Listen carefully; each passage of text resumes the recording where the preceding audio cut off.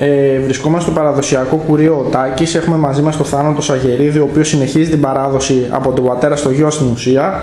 Ε, Θάνο, πες μας λίγα λόγια για το μαγαζί. Το μαγαζί είναι εδώ 25 χρόνια. Πάει τον πατέρας στο γιο. Και 25 χρόνια προσπαθούμε να εξυπηρετήσουμε το πολίτη Σταυρούπολης.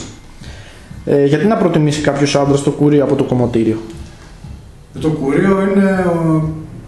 Η δουλειά του κουρίου είναι πιο εξειδικευμένη πάνω στο ανδρικό το, το κεφάλι σε σχέση με την κομμότρια που έχει να κάνει περισσότερες δουλειές. Έχει να κάνει χτενίσματα, επαφέ με τις γυναίκες. Ενώ ο κουρέας η δουλειά του είναι αποκλειστικά πάνω στο ανδρικό το κούρεμα. Οπότε πιστεύω ότι είναι πιο εξειδικευμένος και μπορεί να κάνει αυτή τη δουλειά πολύ καλύτερα από μια κομμότρια. Ε, μια ερώτηση κοινότοπη, η οποία όμως γίνεται κατά κόρον τον τελευταίο καιρό. Θέλω λίγο να μας πεις πώς αντιμετωπίζεις εσύ την κρίση μαγαζάτορας. Η κρίση είναι δύσκολο να αντιμετωπιστεί, γιατί όλοι την περνάμε.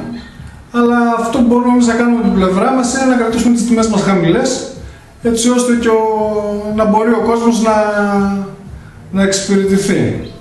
Αλλά είναι δύσκολο. Είναι δύσκολο. Με τις μέρες που περνάμε, εμείς προσπαθούμε, αλλά να δούμε. Σε ευχαριστούμε πολύ, σου ευχόμαστε καλή συνέχεια. Εγώ ευχαριστώ. Γεια σου. Γεια σας.